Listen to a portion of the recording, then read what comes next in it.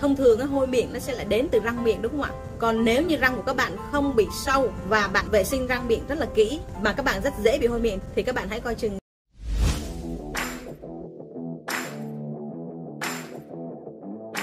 Ba bộ phận càng hôi chứng tỏ gan càng yếu.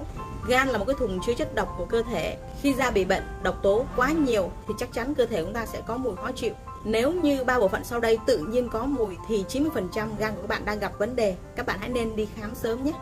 Thứ nhất, đó chính là da và mồ hôi có mùi khó chịu. Khi mà gan yếu thì chức năng gan sẽ bị suy giảm, thì cơ thể sẽ tích tụ rất là nhiều độc tố và không thể nào đào thải ra bên ngoài được. Còn một số người thì đào thải được cái độc tố này ra bên ngoài cơ thể qua tuyến mồ hôi. Lúc này da và mồ hôi của các bạn có mùi rất là khó chịu. Thứ hai, đó chính là hơi thở có mùi hôi. Thông thường cái hôi miệng nó sẽ lại đến từ răng miệng, đúng không ạ? Còn nếu như răng của các bạn không bị sâu và bạn vệ sinh răng miệng rất là kỹ, mà các bạn rất dễ bị hôi miệng, thì các bạn hãy coi chừng gan của mình đang yếu đấy.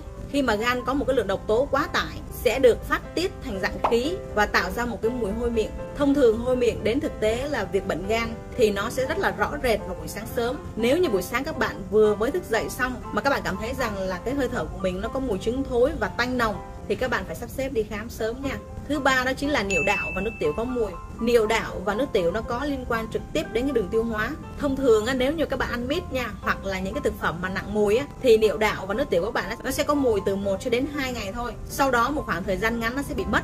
Tuy nhiên nếu như các bạn đã loại trừ những cái nguyên nhân đó rồi mà tại cái vị trí này các bạn vẫn có mùi khó chịu, rất có thể là gan của các bạn đang bị viêm nhiễm, gây nhiễm trùng ở bên trong ngay tại cái vị trí này và tạo ra một cái mùi rất là khó chịu.